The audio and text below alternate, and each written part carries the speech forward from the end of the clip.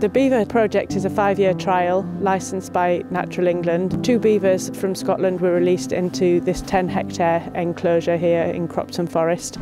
The way that beavers interact with man-made structures like the ones that we have in, in Sutherland Beck has never been researched before. So the main purpose of the trial is to see how beavers have an impact on slowing the flow of the water through the site to reduce the risk of flooding downstream and to see how they interact with the man-made dams in the watercourse.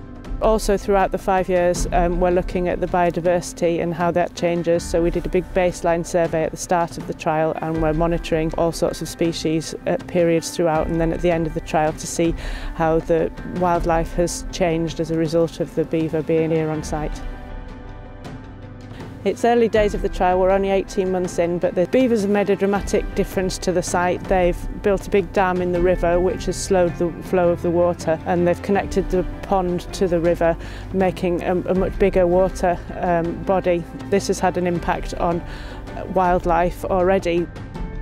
Anglo-American's commitment to this project um, means that we will have good quality data um, at the end of the trial so we'll have some real evidence of the things that we are collecting, so the water flow and the water quality. Without the contribution from Anglo-American, we wouldn't be able to achieve the same results because we wouldn't um, be able to afford to have the same amount of monitoring equipment as we have in place today.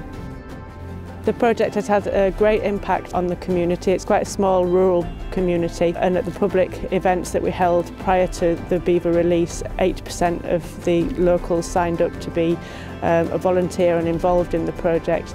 Um, they feel a real sense of ownership to the project and the, the beaver's presence here um, is improving the environment so it's a big all-round winning project. I think it's important for companies like Anglo-American to give back to communities and environmental projects because it adds more value. It means that more um, can be made from, from environmental projects and opportunities.